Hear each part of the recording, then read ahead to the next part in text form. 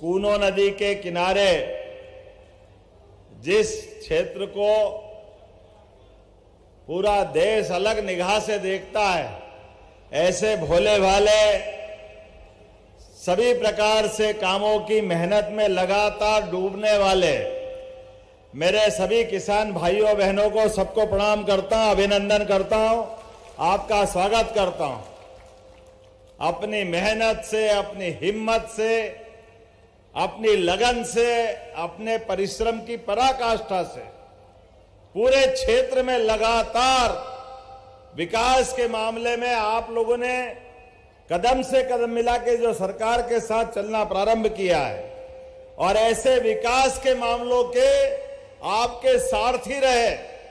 पूर्व सांसद और हमारे यशस्वी विधानसभा अध्यक्ष श्रीमान नरेंद्र सिंह जी तोमर जोरदार अभिनंदन करो श्रीमान नरेंद्र सिंह जी तोमर का एक और सांसद हमारे बीच हमारे पार्टी के भी प्रदेश अध्यक्ष और बहुत अच्छे जुझारू नेता श्रीमान विष्णुदत्त शर्मा जी उनका भी वंदन है अभिनंदन है और आप आपके बीच में आपकी जवाबदारी से जैसे हमारा और आपका रिश्ता बना है कि यहाँ इस क्षेत्र में विकास करना है तो हमने सब प्रभारी मंत्रियों को अलग अलग भेजा है। और यहाँ के बहुत सुयोग्य हमारे प्रभारी मंत्री श्री राकेश शुक्ला जी का अभिनंदन करो, उनका स्वागत करें। इस अवसर पर जिनको मैंने मंत्री तो बनाया लेकिन जिनने क्षेत्र की जनता के विकास के लिए एक संकल्प लिया कि मैं और मैं इस बात के लिए जोरदार ताली बजा श्रीमान रामनिवास रावत जी के लिए। अभी विस्तार से मैं बोलूँगा इनके बारे में। जिनने अपने क्षेत्र की जनता के विकास के लिए अपने मन के संकल्प को यशस्वी प्रधानमंत्री नरेंद्र मोदी जी के साथ जुड़ा है पार्टी के साथ जुड़े, मैं इनका स्वागत करता हूँ, अभिनंदन करता हूँ। मंच पर ही विराजमान हमारे पूर्व विधायक भोले भंडारी, हमने महाकाल की तरह जिनको देखा है, सीताराम आदिवासी जोरदार ताली बजाओ, सीताराम जी के लिए। मंच पर विराजमान श्रीमान विजय दुबे जी, सुरेंद्र जाट जी, श्रीमती गुड्डी बाई जी, श्री ब्रजराज सिंह चौहान जी, श्री नरेंद्र बिरथरे जी तुरसन पाल जी प्रहलाद भारती जी, सीताराम बाथम जी, नाम तो बहुत सारे पूरे पूरे मंच को प्रणाम करता हूँ। जोरदार ताली बजा के सबका अभिनंदन कर दो। नाम में कोई छूटेगा अच्छा नहीं रहेगा। आज थोड़े समय की कमी पड़ी, लेकिन हमने कहा है कि हमारे बीच आज का आना तो और आवश्यक था। आज वीरपुर के इस क्षेत्र में जब हम आए तो यहाँ वीरपुर में आज सबसे बड़ी संयुक्त वन प्रबंधन समितियों के लोगों के लिए, और जब वन प्रबंधन समितियों का कार्यक्रम करने आए तो 55 करोड़ की लागत से बहुत सारे विकास कार्यों की सौगात आपको देने का काम किया है। अलग अलग प्रकार के बहुत सारे कामों का, भूमि पूजन, लोकार्पण, पता नहीं क्या क्या है। मैं आज इस बात के लिए भी आपको बधाई देना चाहूँगा। कि यहाँ लगभग सात करोड़ उनसत्तर लाख की लागत से वीरपुर, कुडाय था, असीता में नल जल योजना का कार्य का भूमि पूजन हुआ, लोकार्पण हुआ, जोरदार ताली बजाओ इस बात के लिए। और युवाओं के लिए चार करोड़ चौतीस लाख की लागत से शासकीय कॉलेज ढोडर, जोरदार अभिनंदन करो, युवाओं के लिए ये सौगात मिली है। तीन करोड़ अठहत्तर लाख की लागत से श्योपुर एवं उच्चतर माध्यमिक विद्यालय शेषईपुरा में। इसका उन्नयन का काम किया गया। अभिनंदन करो ये नए काम के लिए। एक सौ इकतीस, एक दशमलव इकतीस करोड़ की लागत से विजयपुर के अंदर अनुविभागीय कार्यालय का भी आज उद्घाटन किया गया, जहाँ हमारे एसडीएम बैठेंगे। जोरदार ताली बजाओ एसडीएम के इस नए कार्यालय के लिए। भूमि पूजन 24 करोड़ की लागत से विजयपुर में तीस बिस्तरी सामुदायिक स्वास्थ्य केंद्र का। अब 100 बिस्तरी हॉस्पिटल में उन्नयन कर रहा है। जोरदार अभिनंदन करो इस बात के लिए। यही मांगा था ना आपने? CSC centre. यहाँ के लिए भी। चलो कोई बात नहीं, यहाँ भी दे देंगे। पहले विजयपुर में दिया, जोरदार अभिनंदन करो, यहाँ भी दिया जाएगा। आप मांगो तो सही, जो जो मांगोगे सब मिलेगा। विजयपुर, श्योपुर 24 गाँव में पीएम जनमन योजना के माध्यम से 14 करोड़ से अधिक की लागत के बहुउद्देशीय केंद्रों का भी आज भूमि पूजन हुआ है। जोरदार अभिनंदन करो 14 करोड़ की लागत। जब यहाँ वन प्रबंधन समिति की बात कर रहे हैं तो वनों के अंदर विकास के लिए हमारी सरकार ने और अब तो खासकर यशस्वी प्रधानमंत्री नरेंद्र मोदी जी का अभिनंदन करो, श्रीमान नरेंद्र मोदी जी का। जिनके मन में ये भाव बना हुआ है कि आज मन के अंदर हमारे अपने भाई बहन अगर निवास करते हैं, अपनी जान जोखिम में डालते हैं, जंगल में कौन कौन से जानवर नहीं है, लेकिन सारे जानवरों के बीच भी जो प्रकृति के साथ तालमेल करते हैं, एक दूसरे के साथ जियो और जीने दो की भावना रखते हैं। ऐसे में जो न्यूनतम ज़रूरत है वनग्राम में भी तो उनकी फ़सल का अधिकार भी उनको मिलना चाहिए। बेचने का अधिकार भी उनको होना चाहिए। चिंता मत करो, ये अधिकार भी आपको दिया जा रहा है। सारे के सारे पावर आपको दिए जा रहे हैं। पैसा एक्ट के माध्यम से एक एक गाँव के अंदर विकास के मामले में, और आप तो और और भाग्यशाली हो। आपकी तो चारों उंगली काय में बोलते हैं, और सिर। आप तो मैं वन के विकास की बात कर रहा हूँ, मैं भूल ही गया कि वन मंत्री आपको मिल गए, जोरदार ताली बजाओ अपने फॉरेस्ट मिनिस्टर के लिए। अरे बताओ आप तो मामा का घर। और माँ में आ जाए तो अपनी तो डबल चांदी हो जाती है, इससे बढ़िया क्या जगह होगी? हमारे अपने वनों के अंदर विकास के मामले में, अगर हमारी सरकार ने कुछ अच्छा करने का निर्णय किया है तो वन तो मध्य प्रदेश में बहुत है, लेकिन वन का मंत्री एक ही विधानसभा में है, उसका नाम है हमारी विजयपुर विधानसभा। मुझे इस बात की प्रसन्नता है, जो श्योपुर ज़िले के अंदर और एक नहीं, दो नहीं, तीन नहीं, जो जो विकास के मामले में आपने सपने देखे, वैसे तो आप और भाग्यशाली हो। हमारी 230 विधानसभाएँ है और 203 विधानसभाओं के लिए भी जिनको विकास का संरक्षण चाहिए, चाहे पक्ष का हो, चाहे विपक्ष का, सबको संरक्षण चाहिए। और वो संरक्षण देने वाले, आप भाग्यशाली हो आपको हमने अध्यक्ष भी इसी ज़िले के पूर्व सांसद जी को दिया, जोरदार अभिनंदन करो माने नरेंद्र सिंह जी के लिए। एक एक बारीक बारीक चीज़ की पकड़ उनको है। एक एक काम। क्या बोला आपने? पेंटून पुल चंबल के ऊपर। कहा बना रहे थे? कहा बन गया? आपने कहा कि वीरपुर में चंबल नदी पर सबलगढ़ अटार घाट से जो ब्रिज था, पेंटून, अब वो पूरा हो गया, पक्का ब्रिज बन गया। तो ये खाली कहाँ ले जाओगे? ये वापस यही लगाओ।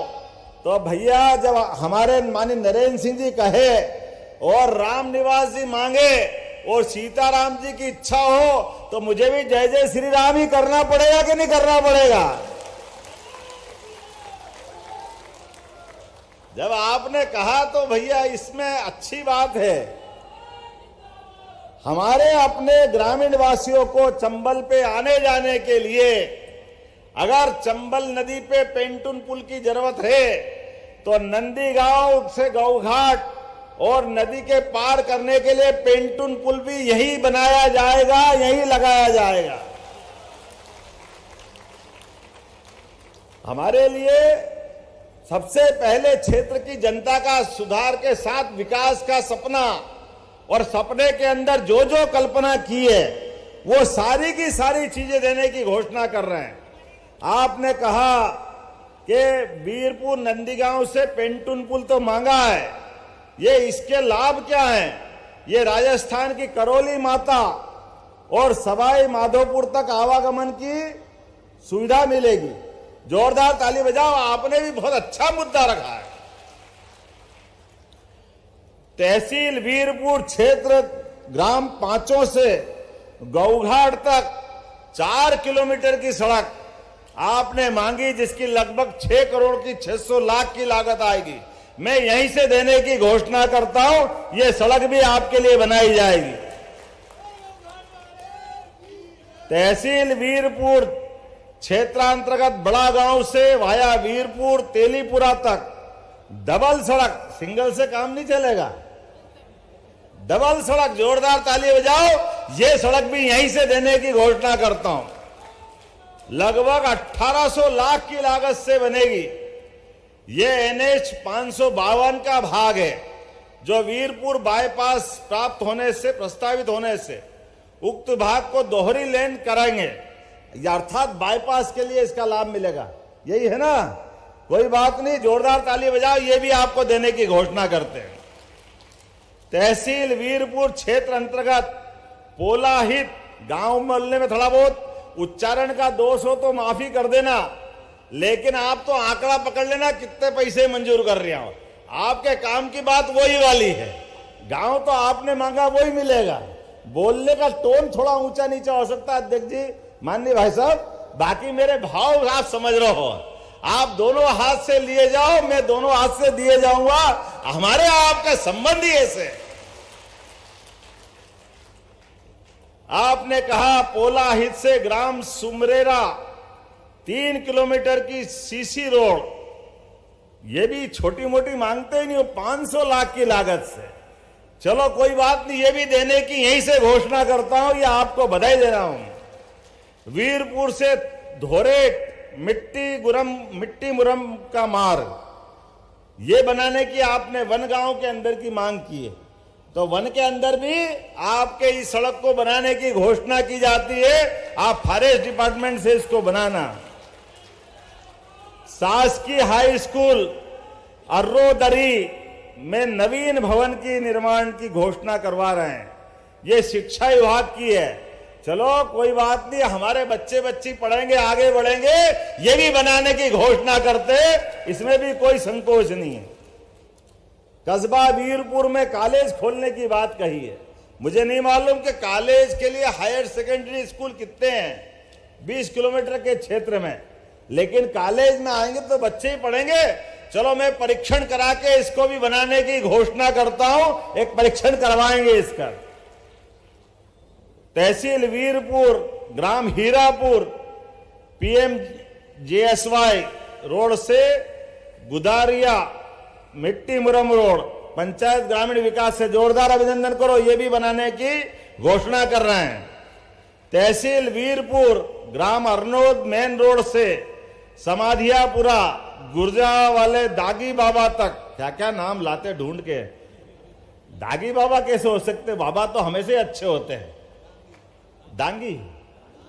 अच्छा ये मैंने इसीलिए कहा, माफ़ करना मेरे को उच्चारण। दांगी बाबा, जोरदार अभिनंदन दांगी बाबा तक आपने जो काम मांगा है, ये भी मंजूर कर रहे हैं। आपने एक हॉस्पिटल कहा है, वीरपुर का सामुदायिक उन्नयन केंद्र का। परीक्षण करके इसको भी बनाया जाएगा, जोरदार ताली बजा करके। अभिनंदन करें अपने इस पूरे कार्यक्रम का। मैं यहाँ पर आया जब तो बहुत सारी बातें मुझे कही गई। उसमें कहा गया कि हमारे भील बिलाला जाति के प्रमाण पत्र नहीं बनते हैं। ये प्रमाण पत्र में तकलीफ़ आ रही है, तकलीफ़ भी दूर की जाएगी। कलेक्टर साहब, ध्यान रखना, हमारे बच्चों को परेशानी नहीं आना चाहिए, सबके सर्टिफिकेट आपको देना ही है, जोरदार अभिनंदन करो, यहीं से मैं घोषणा कर रहा हूँ। लगातार एक के बाद एक, आपने कहा कि यहाँ पर एडिशनल एसपी और एडीएम एसडीएम बैठने की व्यवस्था करना है। हमारे अपने परिसीमन आयोग हमने गठित कर दिया है। परिसीमन आयोग के माध्यम से ज़िले, तहसील, संभाग, सभी क्षेत्रों का परिसीमन करवा रहे हैं और परिसीमन के माध्यम से